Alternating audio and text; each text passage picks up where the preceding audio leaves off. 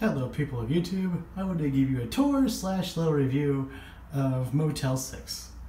So, this specific location is in Columbia, Missouri. So, let's start at the door. There's a door. Okay, so you come in, right? And there's a coat rack, hangers, uh, hanger up. There's a vanity, vanity, a sink, an ice bucket. There's a bathroom and a bathtub with a shower head above. That's where you go take a shower. Oh, and there's a refrigerator and a microwave. So that's pretty nice. Table. There's the bed. Now I'm in a single bed, but you can get two for pretty much the same price.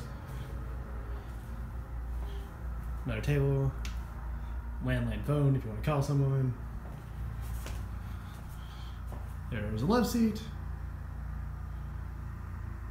Another table there.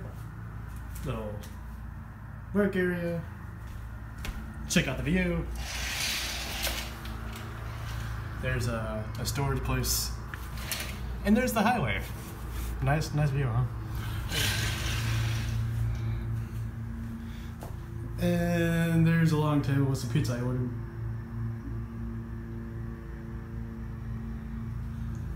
So overall, um, I like it. I mean, it's not luxury, but it's not dirty or anything either, so um, I'd stay here if you want to save money and need a place to stay. So that's my two cents on Motel 6. Thanks for watching.